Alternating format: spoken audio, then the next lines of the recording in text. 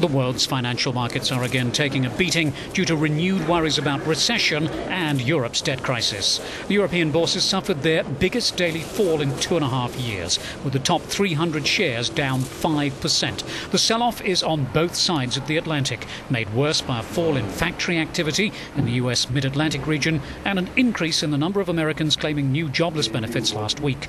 All of this has stoked fears that major economies are close to recession, and indeed, analysts at investment bank Morgan Stanley said the US and the Eurozone are, quote, dangerously close to recession. Banks have been the biggest losers because of all the money that they've lent to Eurozone countries and concerns it won't be repaid. The euro has slipped against the dollar, and gold has hit a new record high above $1,800 an ounce.